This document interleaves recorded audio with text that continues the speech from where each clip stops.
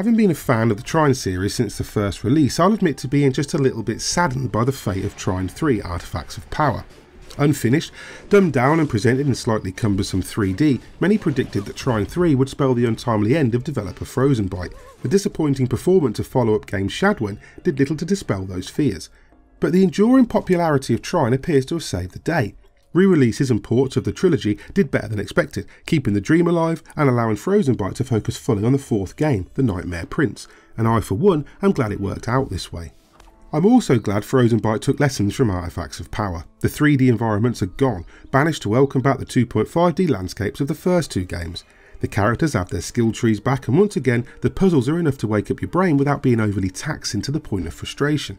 Anyone going into Trine 4 expecting a shake up to the formula might be disappointed though. In fact, thanks to those reversions, it feels like the Nightmare Prince has taken several very measured steps backward before coming forwards again, but while it evokes Trine 2 in all the right ways, there are some new elements that feel immediately comfortable. Playing as Pontius the Knight, Amadeus the Wizard and Zoya the Thief, you'll once more be flicking back and forth between the Triumvirate to solve puzzles and overcome obstacles. There's more combat than ever before in a Trine game, and while Pontius has plenty of tricks up his sleeves, what with his magic sword, shield bash, ground slam and charge, the other two can turn their hand to a fight too. Unlocking nodes on the skill trees allows you to beef up all three characters from the same pool of points, which does mean concessions need to be made, but now Zoya can unlock an evasive roll and combine it with a skill that readies one of her arrows instantly, while Amadeus can slam his conjured or levitated blocks and rocks down on enemies, or even levitate the enemies themselves. Sadly, there's not a huge variety of baddies, and even with the extra abilities, combat can sometimes feel like more of a hindrance than a real challenge. It could be argued this is partly in service to the story, which sees our trio chasing down runaway Prince Selius, the titular royal whose unchecked magical powers are causing his vivid nightmares to take physical form in the real world.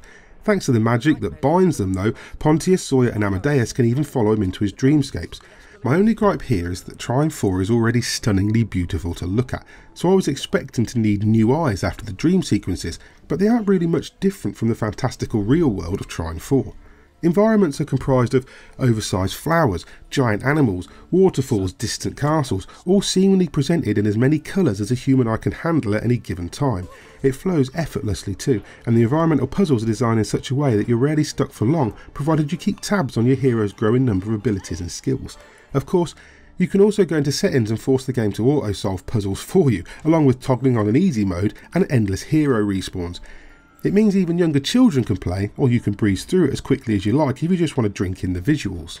But make no mistake, the Nightmare Prince is no more and no less than another Trine. Whether or not that's good or bad is dependent entirely on the individual, but when you're hookshotting across a gap with Zoya, deflecting incoming missiles or slamming through floors with Pontius, or wrestling with the sometimes unwieldy boxes conjured by Amadeus, it's easy to forget this is the fourth game in the series. There's comfort in familiarity, sure, but with the Nightmare Prince, Frozen Frozenbyte take that concept and run with it.